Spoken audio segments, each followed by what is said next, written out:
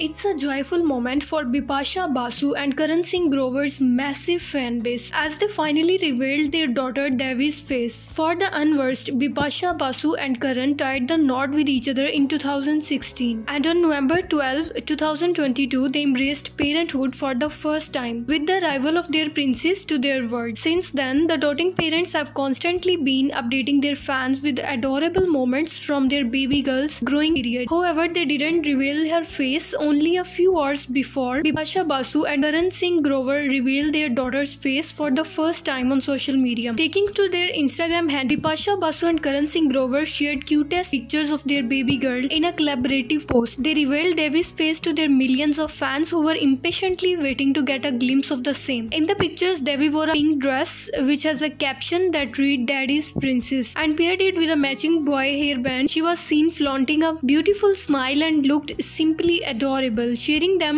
dotting parents and hello world, I'm Devi. Isn't she cute? Don't forget telling us in comment box and if you haven't subscribed to our channel, do it please.